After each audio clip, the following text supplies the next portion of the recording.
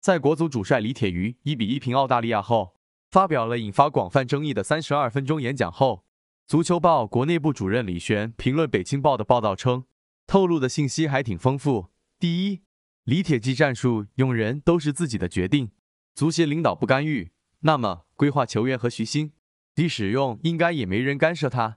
这次算说清楚了吧？用人是他自己的事，足协没限制。第二，对李铁场外个人行为，足协没做过多限制。李铁确实是唯一一位在任期间可以随意去转播平台收费解说、社交平台随意发声、发广告的国家队主教练。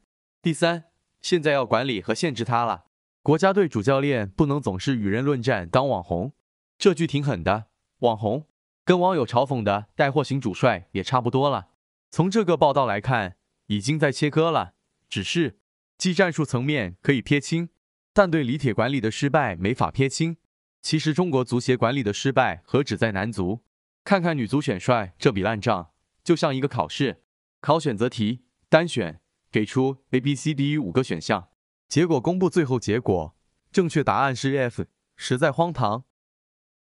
事实上，李铁在用人上的掣肘，特别是对规划球员前期的明显限制性使用，以至于早就传出国足使用规划球员一场比赛不能同时超过两人。不能有两位非血缘规划球员同时在场，只按规则。这在四十强赛时以及十二强赛前两场输给澳大利亚和日本时，都得到了似乎一一对应的体现。而对规划球员的限制，也是有着思想与舆论前提的。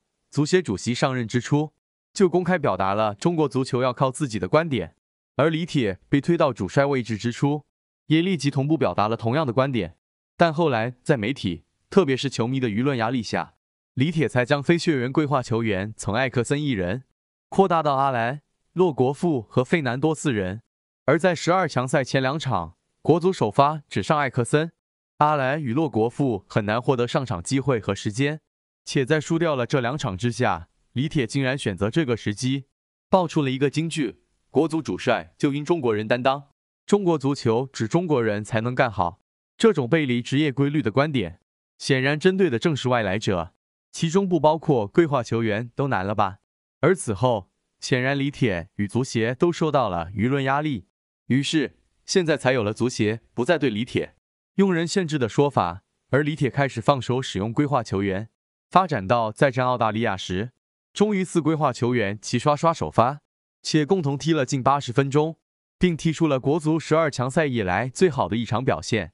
在舆论倒逼之下，李铁才变阵，才真正让规划球员发挥出作用。但是为时已晚，于事无补了。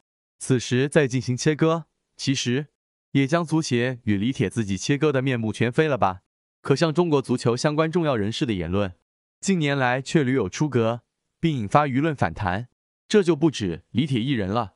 像贾秀全任中国女足主帅时，他所言的“我要的是集体，而不是球星”。奥运会是为了练兵等，还有最近竞聘中国女足主帅且被传是内定者的赵俊哲，对媒体称中国国家队的教练不能为成绩为专业论，需要考虑的因素很多。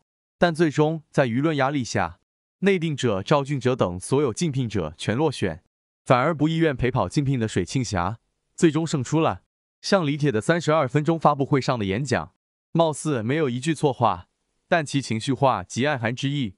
其实都是在与球迷及媒体互怼，本质上也是一种开脱责任的做法。就如黄健翔所言，从这个角度看，李铁还不如只在口头上说我负全责的贾秀全更像个爷们呢。虽然李铁目前仍捏紧着国足主帅的五年长合约，但是不得不说，国足的一个最重要目标——冲击世界杯，已基本上破灭了。而以目前所谓的李铁练帅说法，真的能让李铁在五年后？将国足带进世界杯吗？要知道，规划政策或许也同时走到了尽头。